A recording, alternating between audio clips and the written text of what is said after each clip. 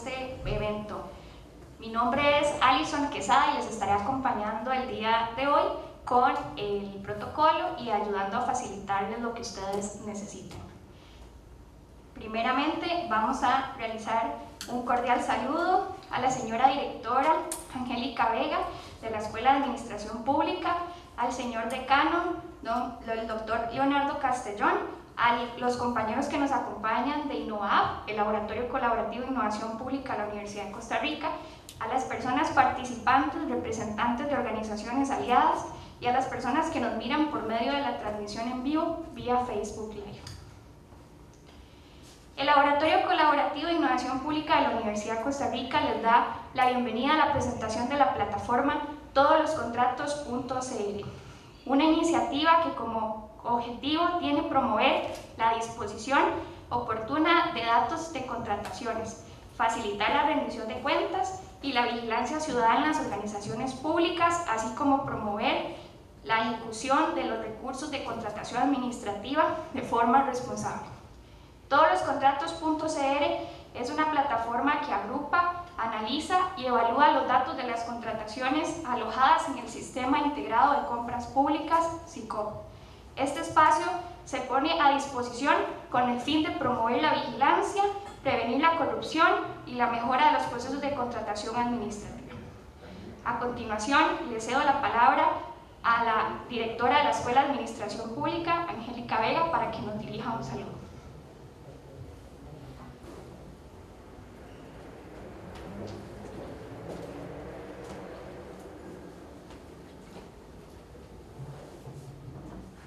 Días a todos y todas, todos y todas las personas que me siguen. ¿Sí me escucho bien? Ahora sí. En el botón. Este, bueno, buenos días, muchísimas gracias por estar el día de hoy atentos al lanzamiento de esta página.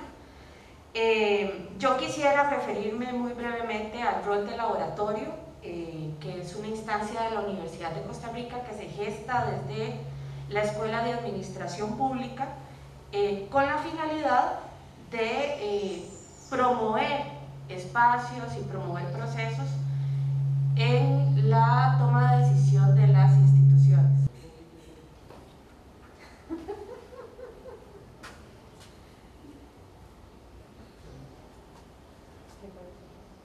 Hola, sí. Bueno, espero que este sea el único incidente del audio.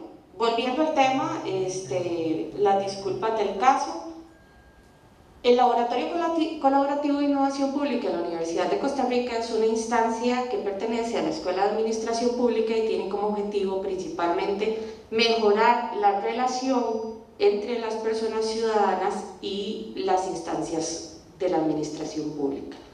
De ahí que tiene tres grandes áreas, innovación social, que es la que se enfoca en el mejoramiento de las capacidades ciudadanas para la participación en las actividades como sociedad civil, la innovación de servicios públicos, que es el equipo que trabaja en la mejora de procesos, procedimientos y trámites en muchas instituciones del sector público, y el área de datos a la cual pertenece este proyecto, que es eh, el área que tiene como bandera el uso de los datos para la toma de decisiones y la toma de decisiones de política pública basada en evidencia.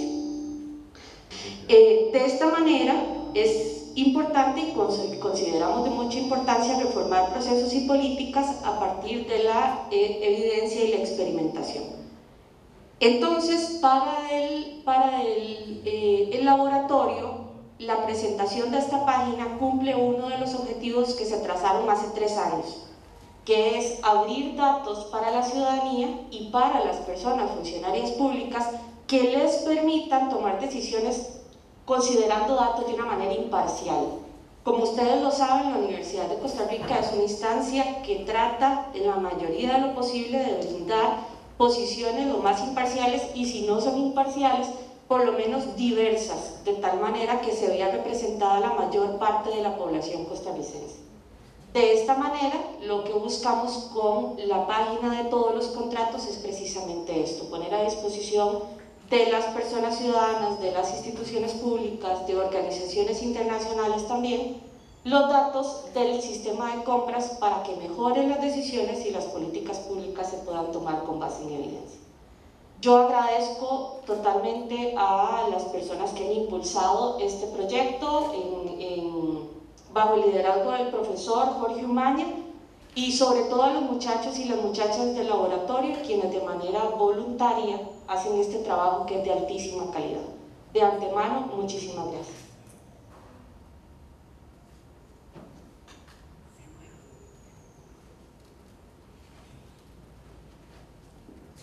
Muchas gracias a la señora directora. A continuación le daré la palabra al profesor Jorge Umaña, quien lidera esta iniciativa.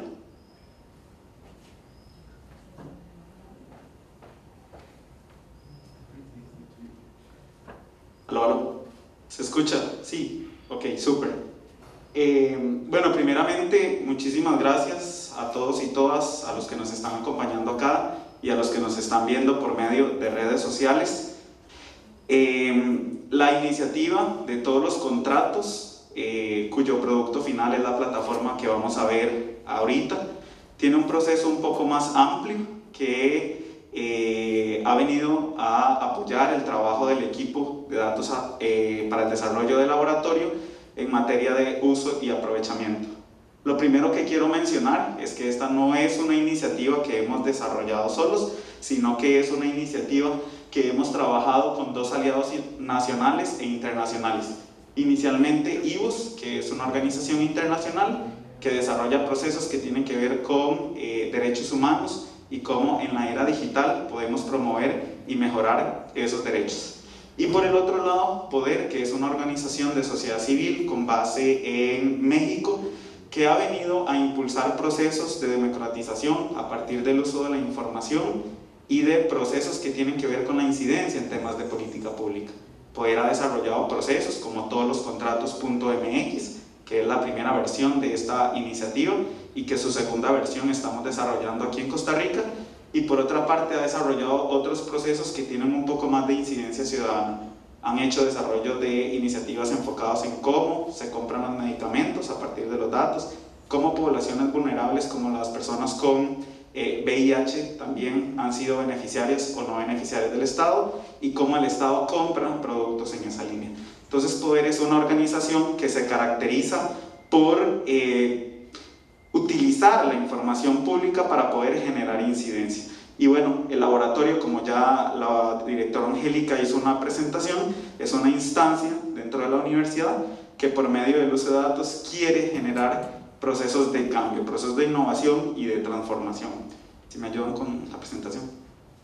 Eh, ¿Cuál fue el proceso de construcción de todos los contratos? Bueno, inicialmente estamos eh, generando un primer proceso, un primer prototipo que hace un consumo de datos de datos abiertos del SICO. Entonces, la primera etapa de este proceso fue un proceso de extracción de datos que no solo consume los datos abiertos que tiene la plataforma del Sistema Integrado de Compras Públicas, sino que también se hace un consumo de otros datos que están disponibles, por ejemplo, en el expediente electrónico.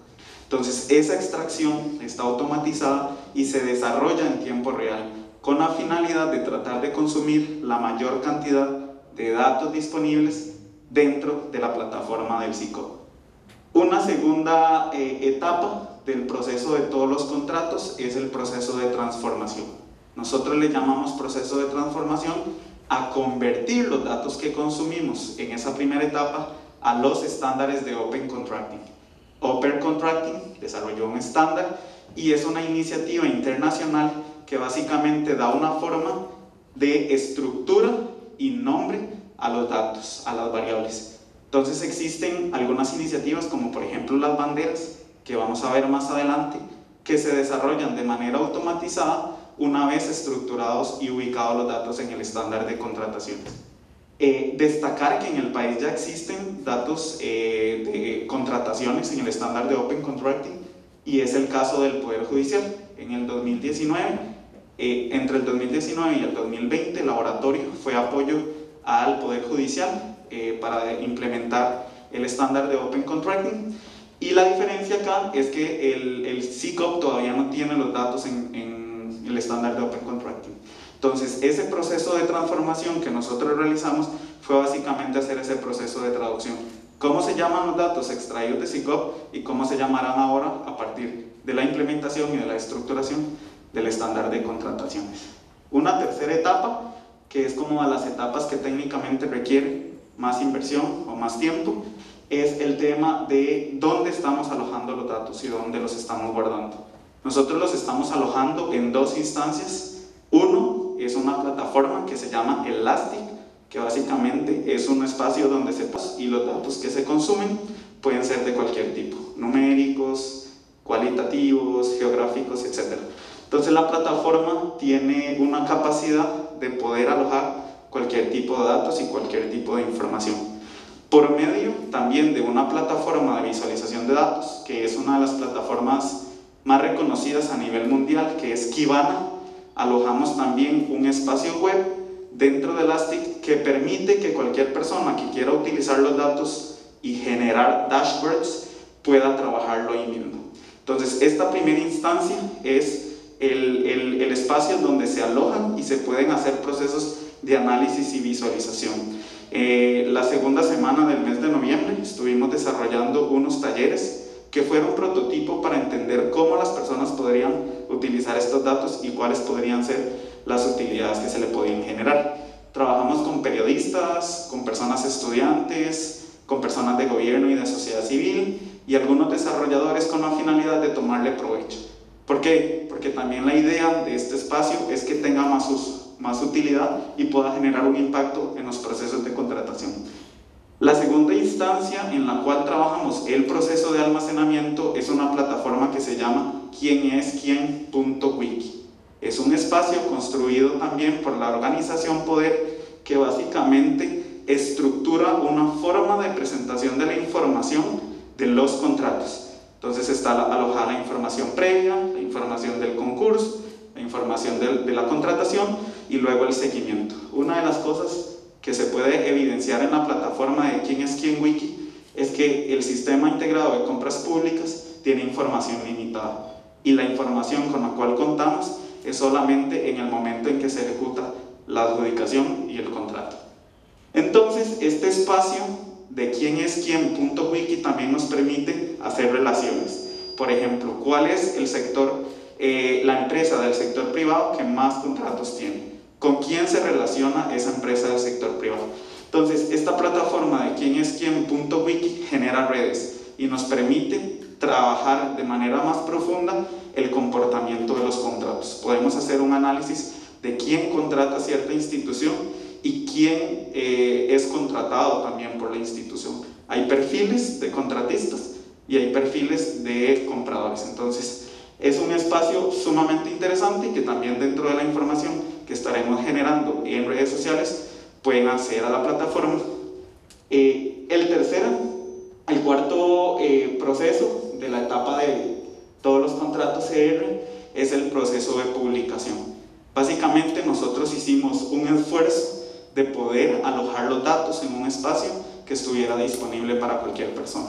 Entonces, por medio de, por ejemplo, en Kibana y en Elastic, se pueden crear usuarios públicos para que las personas creen visualizaciones, puedan descargar las visualizaciones, puedan descargar los datos en formatos conocidos como XLS, CSV o también en formatos mucho más técnicos como los JSON, que pueden facilitar el consumo de los datos.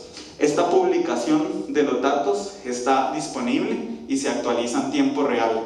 Algo que sí ha sido muy beneficioso para el proyecto es que la publicación de datos en SICOP se realiza en tiempo real. Una vez adjudicado el contrato, se actualiza la base de datos y por ende eso nos facilita que nuestro consumo de datos sea en tiempo real. Eso permite que no solo nosotros podamos tener la posibilidad de tener los datos en tiempo real, sino que también las personas que quieran utilizar los datos puedan consumirlos. Una eh, quinta etapa, que es el proceso de comunicación. Nosotros esta etapa la desarrollamos por medio de la plataforma todos los contratos.cr que ustedes pueden acceder y que vamos a ver en un ratito, donde se aloja alguna información importante del proceso de análisis y visualización de datos que nosotros desarrollamos. No solo tiene procesos de análisis de datos, sino también tiene algunos insumos importantes que nos permitan a nosotros y a nosotras entender cómo están sucediendo los procesos de contratación en Costa Rica, cuán relevante es la temática y bueno, en el contexto en el que hemos vivido los últimos seis meses, a nivel institucional, político y económico, los procesos de contratación son sumamente importantes. Y la última etapa, que es la que posterior a este lanzamiento queremos impulsar, es el tema de conocimiento. ¿Cómo vamos a generar conocimiento? ¿Cómo vamos a generar insumos que generen eh, información, que generen conocimiento, que generen impacto a partir del uso de los datos y de las plataformas y que a partir de ello podamos crear una comunidad, un ecosistema que use datos de contratación para tomar mejores decisiones.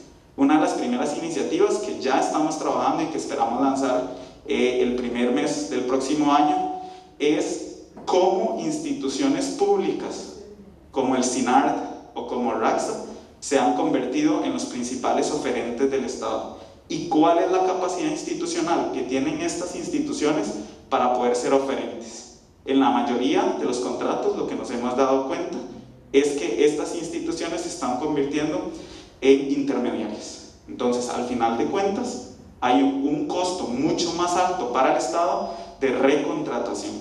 Ese estudio y un caso muy específico que estamos analizando a partir de las evidencias de los datos nos van a permitir generar conocimiento, entender por qué suceden estos fenómenos, porque gracias al análisis descriptivo de los datos podemos encontrar puntos aislados de los comportamientos y poder evidenciar qué está sucediendo en esos procesos.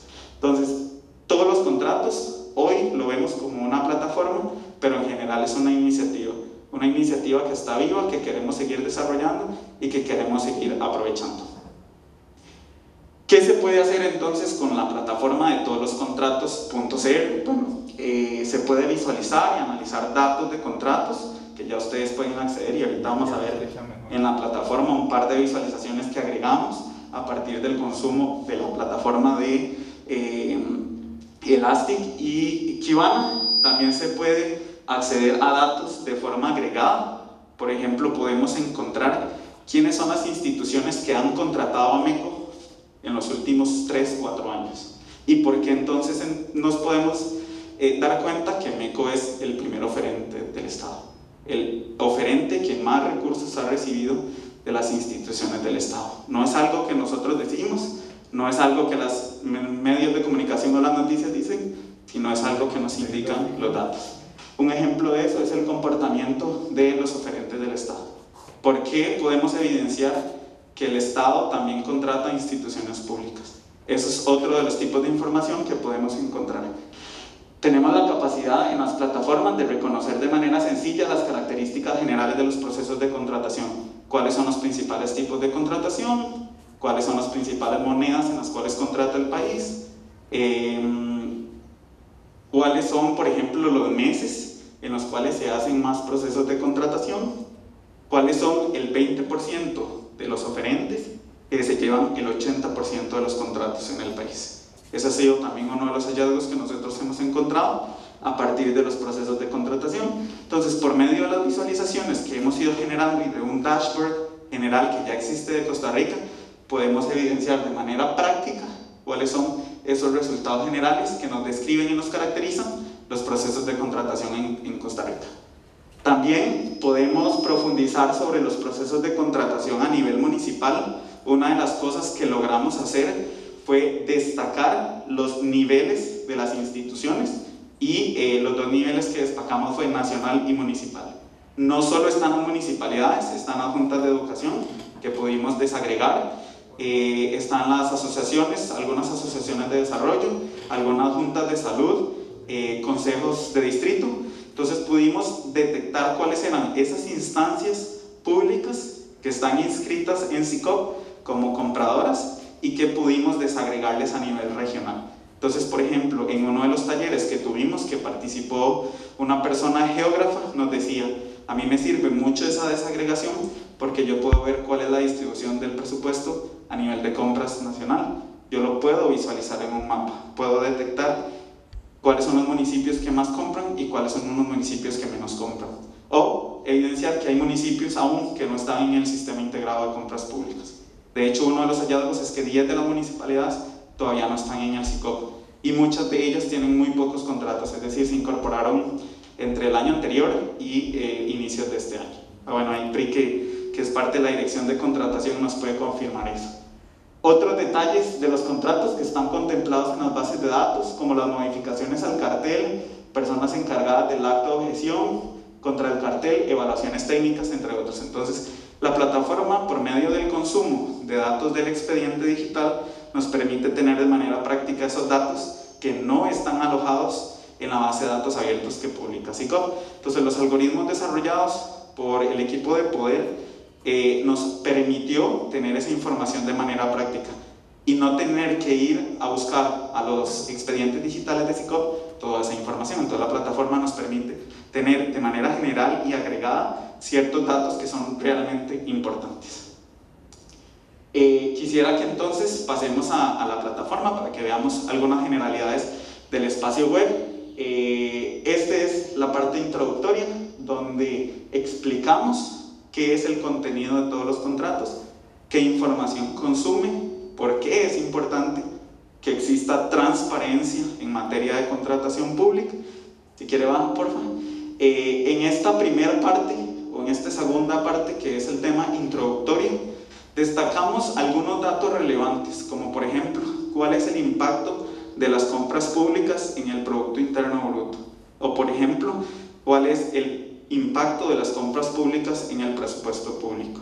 Esta información eh, ha sido producto de la investigación que nosotros hemos desarrollado, no solo analítica de los datos, sino también general del contexto de las compras públicas, basándonos en bibliografía de la Contraloría General de la República, del Ministerio de Hacienda y de la OCDE, que han hecho una caracterización general de los dos últimos años del sistema de compras públicas. Esta fase, línea que ven ustedes números y colores verdes es una visualización de datos que nosotros produjimos en Kivan. Entonces nos da una visualización general de cuál es la información que tenemos o de quién. Tenemos 175.536 contratos desde el 2010 hasta el día de hoy, en tiempo real. Información, hay información de 176.000 contratos tenemos 269 instituciones públicas mapeadas con sus contratos, algunos con muchos contratos, como por ejemplo eh, la Universidad de Costa Rica, el Ministerio de Hacienda, el ICE, que desde el 2010 han venido comprando en el sistema, y también tenemos instancias que tienen un contrato, por ejemplo. Lo importante es que ya se conglomeran la mayoría de instituciones en el SICOP, y es algo que nos da evidencia a los datos. Tenemos 13.165 adjudicatarios, es decir, oferentes que han ganado concursos. Hay oferentes que no han ganado concursos, pero desconocemos ese número porque es información que todavía no están los datos disponibles. Y también, importante e interesante, de las 82 municipalidades que tenemos, 72 están en SICO. Esto nos permite generar una caracterización de cómo se están comportando las compras públicas. Algo que también destacamos dentro de nuestro proceso de extracción, de transformación y de limpieza de los datos son algunas malas prácticas que se implementan en los procesos de gestión de datos. Es decir, esas cosas que, nos que no nos permiten tener datos de la mejor calidad. Hemos sistematizado en el espacio web las seis principales malas prácticas que evidenciamos en el proceso de técnico de transformación y análisis de datos, hay una falta de estandarización de datos. Pueden existir nombres de instituciones todo en mayúscula o todo en minúscula, con tildes, sin tildes, con guiones, sin guiones. Eso no nos permite generar un proceso de análisis sano, sino que genera vicios en cuanto a la, gestión de la información o, por ejemplo, los, los separadores de miles o decimales, algunos con comas, algunos con puntos, y eso genera problemas a la hora del consumo de datos. Y algo que es muy importante, eh, es un, estamos en Costa Rica, un país que ha trabajado mucho tiempo por los temas de gobierno abierto y datos abiertos, y es un país que todavía no tiene en su principal sistema de contratación el estándar de Open Contracting. Entonces, una de las recomendaciones que nosotros hacemos es que ese proceso técnico de estandarización de acuerdo a los estándares nos va a generar evidencia que nos va a permitir mejorar la calidad de datos. Incongruencias entre los montos publicados, que también eso es algo importante, a veces por problemas de digitalización o por problemas propiamente de los sistemas de información, hay montos que no son los adecuados y que nos da errores en cuanto a las sumatorias y a los resultados de las contrataciones. Eh, por ejemplo, pueden haber tres ceros de más o no hay separadores de miles, entonces eso infla algunos datos y nos genera errores en los procesos de análisis. Importes sospechosos, eh, por ejemplo, hay contrataciones de un colón o de cero colones o de colones muy grandes. Entonces, esos son evidencias que nos, nos indican que algunos procesos de contratación, por lo menos la gestión de la información de esos procesos de contratación, no es sano. Y que en esos procesos que no son sanos, se permite que se colen algunos elementos de corrupción que hemos eh, evidenciado, por ejemplo, en países o en otros casos ya más analíticos profundamente, que por la mala gestión de la información se permiten este tipo de cosas. Duración de los contratos. Eh, en algunos casos no hay información de cuánto dura un contrato o a veces los, los datos son muy amplios en cuanto a la duración de las contrataciones o muy cortos. Entonces, hay muchas inconsistencias en la duración de la información Puede ser que realmente no se tenga claro a nivel institucional los tiempos de la duración de las contrataciones o puede ser que realmente haya problemas en la gestión de la información. Tenemos nombres de los contratos, a veces compra equipo y no sabemos si es una computadora, si es una fotocopiadora, si es una computadora, etc. Eso genera vicios en los procesos de contratación y permite eh, que los procesos incluso no sean competitivos, no se les pueda dar trazabilidad.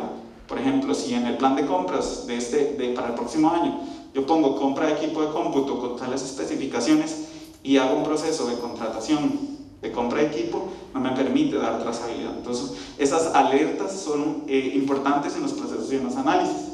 Y finalmente, otra de las cosas que para nosotros como país es un problema en general es el tema de las direcciones. Los procesos de contratación tienen que tener una dirección de la persona o de la empresa que es oferente y en la mayoría de los casos o no está o es algo sumamente informal que no permite incluso identificar a quién se le está contratando. Entonces, son seis de las principales, pero existen muchísimos vicios que estaremos lanzando en un informe también que vamos a estar desarrollando más profundo de entender cuáles son esas malas prácticas, cuáles son los ejemplos, cuáles podrían ser buenas prácticas y algunas recomendaciones que vamos a lanzar el próximo año posterior al ejercicio de esta plataforma. El landing también tiene eh, una sección donde publicamos informes, noticias relacionadas a los procesos de contratación. Ahí pusimos dos ejemplos, una noticia del semanario Universidad, donde se evidencia obviamente los últimos escándalos de corrupción, y un informe que nos hizo la OCDE en conjunto con la Dirección General de Contratación Administrativa del Ministerio de Hacienda, que dice cuáles podrían ser los próximos pasos del país en materia de transformación del sistema de contratación, que nos permite generar información concentrada para que cualquier oferente o cualquier usuario de la plataforma, de todos los contratos, pueda no solo ver datos, sino que pueda ver temas de actualidad, temas de hacia dónde podría ir esta temática en cuanto a implementación. Tenemos otra visualización que quisimos extraer porque para nosotros es sumamente importante que la gente se dé cuenta de cómo se están desarrollando los procesos de contratación. Entonces, desde el 2010, que es el primer punto verde, hasta el día de hoy, podemos ver cómo han venido creciendo los contratos o los procesos de contratación en SICOP. Recuerden que estamos trabajando solo con los datos que están en SICOP. Y si pueden ver, en el lapso de un año siempre hay un pico al final. Eso básicamente nos está indicando que en el mes de noviembre las instituciones o en general el país compran más que incluso los primeros cuatro o cinco meses del año. Entonces, una de las cosas que a nosotros nos genera esa alerta es dos cosas. No se está planificando bien los procesos de contratación o simplemente se está comprando por comprar. Entonces, eso nos da evidencia de que deberíamos de hacer un proceso de investigación para entender qué es lo que está sucediendo en los meses de noviembre. Esta gráfica para nosotros es sumamente relevante y bueno, pueden ver el último pico, que es el mes de noviembre. Ese pico es el tiempo real de cuáles han sido los procesos adjudicados en este último mes. Entonces, esta, esta plataforma no solo va a contener información, sino que también va a tener nutridas visualizaciones de datos que le va a permitir a personas, usuarias de los procesos de contratación, a personas que trabajan por temas de transparencia, a poder entender este tema. Y por último, tiene uno de los elementos que para nosotros es sumamente importante, que es el trabajo que hicimos de banderas. ¿Cuáles podrían ser alertas que nos están diciendo que el tracking o el proceso de cada contrato no es correcto o no está siendo efectivo? Nosotros dividimos en las banderas en cinco banderas, transparencia, temporalidad, trazabilidad, competitividad y confiabilidad. Cada una de estas secciones de banderas tiene diferentes indicadores que también están establecidos en la plataforma y que nos da una evaluación. Algunas de estas banderas se miden a nivel porcentual, otras son con valores booleanos, sí y no, y a partir de eso y de los algoritmos desarrollados tenemos una evaluación de las instituciones a partir de los contratos. Es decir, con base en estas clasificaciones, cuáles son las instituciones que son más transparentes, es decir, que tienen más información de los contratos. Cuáles son las instituciones que dan información de la temporalidad o cuáles contratos contienen. Entonces hacemos un análisis de todos los contratos y se le da una ponderación a la institución. Esto nos va a permitir eh, generar algún tipo de, de, incidencia y de presión para que la información que gestionan las instituciones en el SICOP sobre sus contratos cada vez sea mejor, de mayor calidad y de mayor transparencia. Tenemos otras banderas como trazabilidad que nos da información eh, de la posibilidad de dar rastreo hacia dónde va el dinero y de dónde viene, incluso la posibilidad de poder rastrear de cuáles partidas se financia y hacia dónde a cuáles eh, empresarios o eh, personas contratadas por el Estado llegan esos recursos.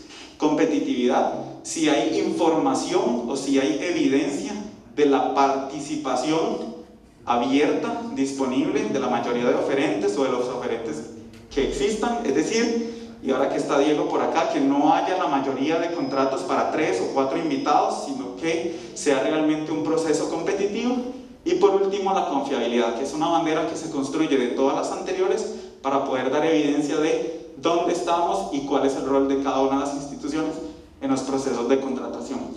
Aquí está la primera corrida que nosotros hicimos de la evaluación. Eh, curiosamente, el primer lugar en cuanto al ranking de las banderas es la Municipalidad de Osa, la Municipalidad de Pocosí. A nivel de información que existe, podría ser los mejores resultados. Quizás no la intención o los procesos de contratación sean los más adecuados, pero efectivamente a nivel de las banderas nos da el resultado. Eh, esta visualización ah, ya tiene una barra que ustedes pueden desplazar. Clasificamos y escogimos las instituciones que tienen más de 10 contratos para que realmente la medición tenga efectividad, porque teníamos juntas de educación que tenían un contrato y que más o menos su evaluación eh, tenía eh, un 80 y resto. Vean que las instituciones que tienen más de 10 contratos, más o menos la más alta son 76. Todavía tenemos mucho que resolver y mucho que mejorar. Eh, ahí, esa es una visualización que nosotros también generamos en, en Kibana a partir de del consumo en Elastic. Entonces, básicamente, la plataforma también tiene la posibilidad de consumir visualizaciones y que incluso si alguna persona que está interesada en la plataforma y en las visualizaciones quiere generar una visualización y quiere que la incrustemos, nosotros podemos generar un espacio para eso. Más abajo, ah bueno, en el botón azul eh, hay un enlace a quién es quién.wiki, se los voy a dejar ahí como de tarea, pero es básicamente donde están alojadas las caracterizaciones de los contratos. Por ejemplo, el ICE es el principal comprador del Estado, lo verde, eh, el, el, la referencia verde es cuando hemos sido proveedores y la referencia roja es cuando somos compradores. Entonces vean que el Banco Nacional, el INS y el ICE son instituciones que son proveedoras y compradoras. Pueden ingresar a cada uno de los enlaces verdes y rojos y hay una desagregación de la información que caracteriza a esa institución. Carlos, si querés me ayudas con cualquiera. Este fue eh, el, el, ICE. El ICE, eh, así es el comportamiento de los contratos hay una desagregación de los contratos que ha desarrollado y uno puede ir directamente a profundizar cuál es la información. Yo sé que ahora que está Diego Miranda acá, regidor de la Municipalidad de San José, mucha de la información que vos has destacado de ciertos contratos podrías ir a profundizar qué hay detrás de ese contrato, qué información tiene y quiénes han sido los beneficiarios. Y bueno, efectivamente, eh, en esta plataforma de quién es quién.wiki es una plataforma que aloja cada una de las etapas del proceso de contratación. Claro, si quieres volvemos a, a la plataforma. Y eh, acá abajo está la metodología de cómo se construyen las banderas. Entonces, le permite a las personas usuarias como ustedes o las personas que nos están viendo en el live poder entender cómo se construyen esas banderas, cómo se construyen la evaluación y cómo se da el resultado final. Y finalmente, eh, en el espacio también tenemos el equipo de trabajo, que hemos sido muchas personas que nos hemos incorporado del equipo técnico, el equipo ejecutivo, de la idea, del perfilamiento de los datos, del trabajo técnico y además hay un espacio de contacto. Esto es algo muy importante.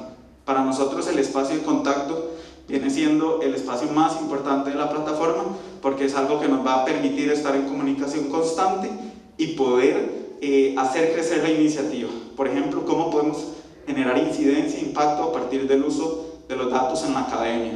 Cómo los comunicadores y comunicadoras de medios locales y medios nacionales pueden generar incidencia a partir de la visualización de información y de datos en todos los contratos.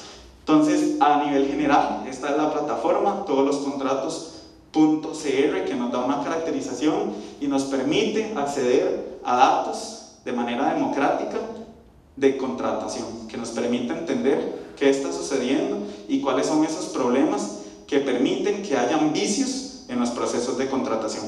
Cara, si quieres volvemos a la presentación y eh, antes de terminar quiero darle un agradecimiento a mi equipo, al equipo de laboratorio, Alejandro y Ernesto, que han sido las personas que se han echado el proyecto al hombro. Eh, hemos tenido retos técnicos, nos ha tocado aprender a programar, nos ha tocado a desarrollar procesos de investigación muy, muy profundos y eh, de verdad para nosotros es un gusto.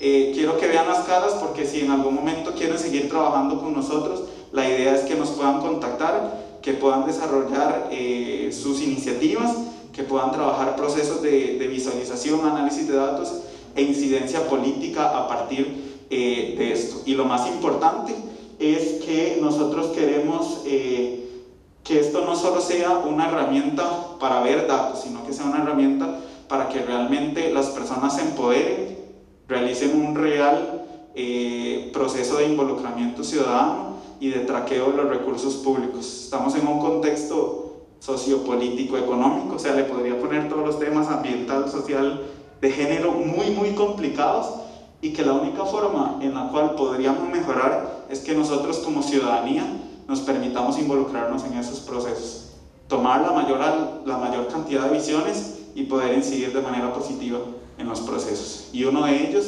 es cómo el Estado compra, cómo nuestros recursos y nuestros impuestos se están viendo invertidos. Entonces, la verdad es que para nosotros es un gusto tener esta plataforma y la idea es que sigamos creciendo como comunidad. Síganos en redes. Ahorita Alison al final va a dar unos detalles de, de nuestras redes, pero la idea es que sigamos creciendo y podamos seguir desarrollando iniciativas de esta materia, que no solo son de transparencia, sino son también de incidencia ciudadana. Muchísimas gracias.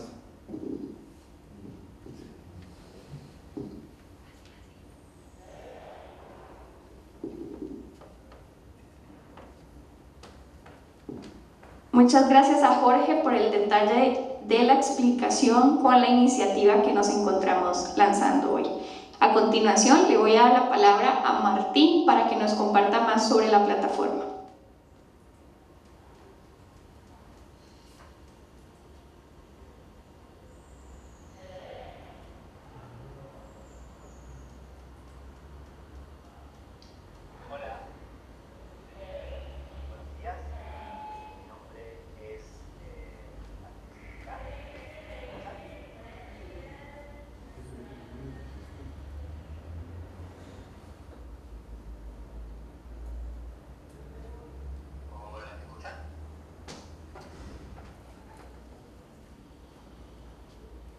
Ahora sí. Buenos días.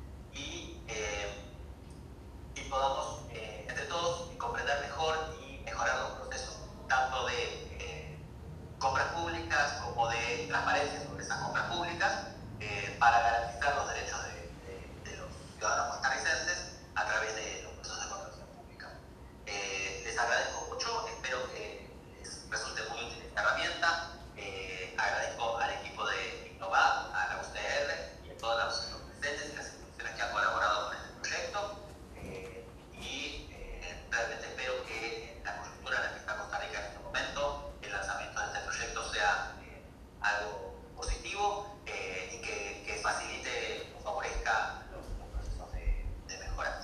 Eh, eso es toda mi intervención por este momento eh, y bueno, siguen con el evento. Muchas gracias. Muchas gracias Martín. A continuación le daré la palabra al doctor Leonardo Castellón, decano de la Facultad de Ciencias Económicas.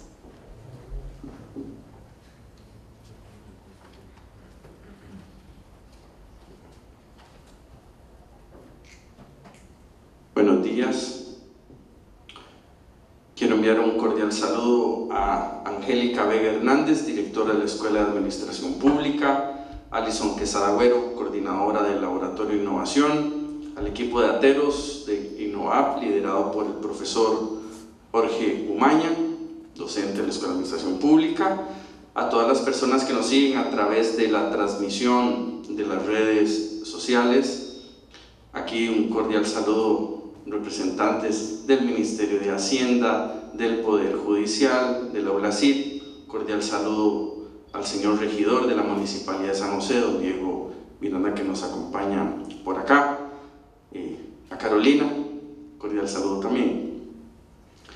Me complace mucho haber sido invitado como decano de la Facultad de Ciencias Económicas a la presentación de esta plataforma Todos los Contratos CR una iniciativa que tiene como objetivo promover la disposición oportuna de datos de contratación, facilitar la rendición de cuentas y la vigilancia ciudadana en las organizaciones públicas y así promover mejoras en la ejecución de procesos de contratación administrativa. Celebro esta feliz iniciativa y la importancia quiero analizarla de tres perspectivas. La primera es una perspectiva desde el punto de vista constitucional. Y aquí quiero recordar que el artículo 11 de nuestra constitución política establece la obligación de nosotros como funcionarios y como funcionarias públicas a la rendición de cuentas y a ser objeto de evaluación de resultados. Y esta plataforma permite precisamente que sintamos la presión de esta obligación constitucional de la rendición de cuentas y de la evaluación de resultados. En el artículo 176 de reciente reforma de nuestra Constitución, 176 dice, la gestión pública se conducirá de forma sostenible, transparente y responsable. Ahí hay tres elementos que se agregan a la constitución pública y aquí estamos contribuyendo a uno de ellos, que es la transparencia. Así que con esta iniciativa le estamos dando contenido y posibilidad a la ciudadanía, esta es la segunda perspectiva de mi análisis, de, tener el poder para generar esa presión de la evaluación, de la rendición de cuentas, de la transparencia. Y es que justamente la, la, ciudadanía detenta el poder, así lo establece el artículo 9 de la Constitución Política. Y ese detentar el poder tiene sus responsabilidades, ¿verdad? Y también tiene sus derechos. Y la responsabilidad de la ciudadanía también está en vigilar, en fiscalizar la gestión pública. Y esta herramienta que hoy nos presenta Jorge, que nos presenta Martín, a quien también aprovecho para saludar, le da, la, le da la posibilidad a la ciudadanía de poder generar esa presión, de generar esa fiscalización con datos, con datos abiertos que están en nuestro sistema de compras, de compras públicas. Y esto lo enmarco dentro del gobierno abierto. Si estamos hablando del gobierno abierto, esto es lo que nos permite.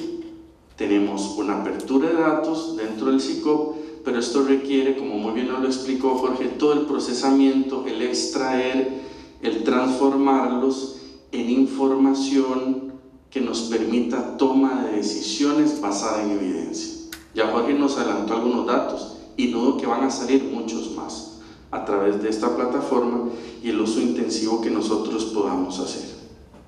Y es que esta plataforma le va a permitir a la ciudadanía interactuar, pensar, reclamar, exigir y participar, porque como les decía, es nuestra responsabilidad. Y esto, Jorge nos lo adelantó, tiene que ver también con la lucha frontal contra la corrupción.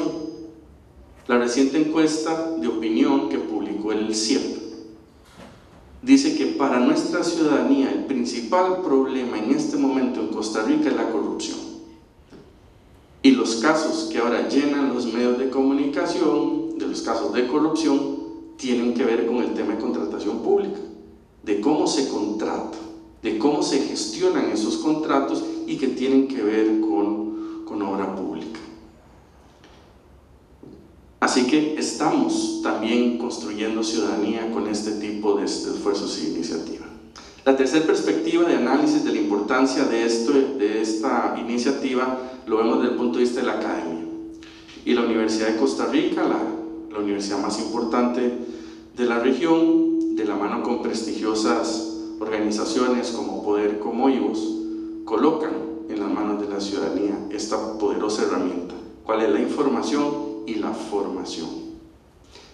Como les decía, estamos en una situación compleja desde el punto de vista fiscal, donde tenemos un déficit eh, enorme, donde la relación deuda-PIB alcanza niveles realmente preocupantes y que iniciativas como esta vienen en la línea de aportar en el uso eficiente de los recursos, en el uso honrado y ético de nuestros recursos para que se pueda generar el valor público al cual como instituciones públicas estamos obligados a generar.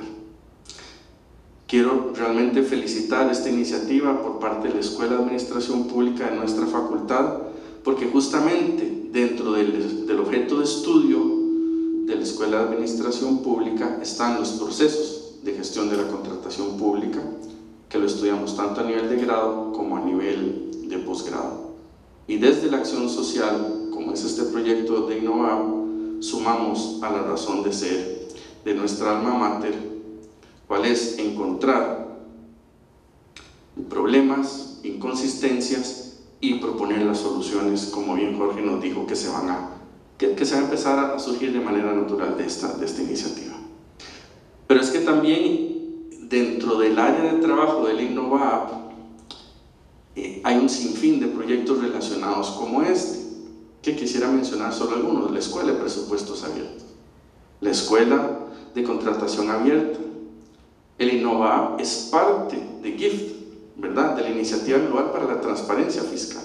Es decir, esta no es, no es, un, eh, no es una iniciativa aislada, sino que es una estrategia en la cual la academia suma para que la ciudadanía pueda poner el ojo sobre la administración pública.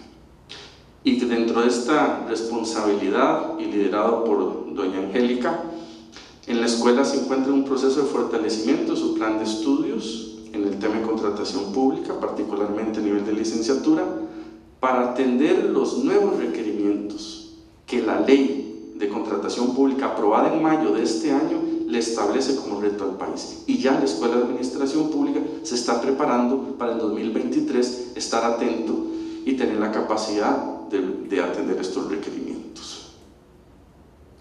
Y es así como entonces la escuela se mantiene a la vanguardia de la enseñanza, del estudio e investigación de la administración pública, lo cual es digno de una sincera felicitación.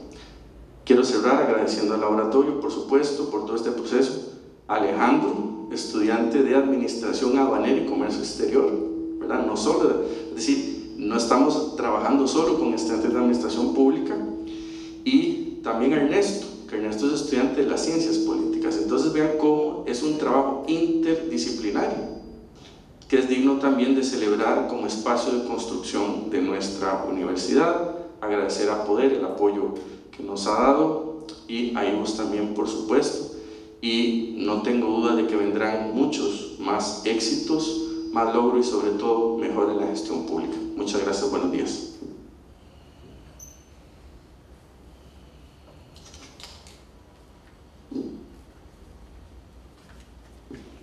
Muchas gracias al doctor Leonardo Castellón por estas palabras.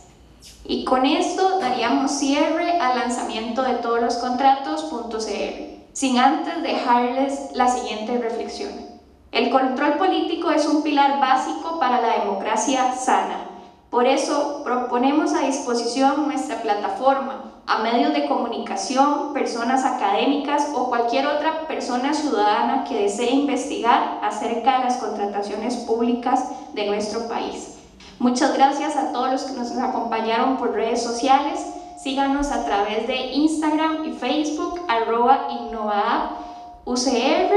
Les deseamos un lindo día.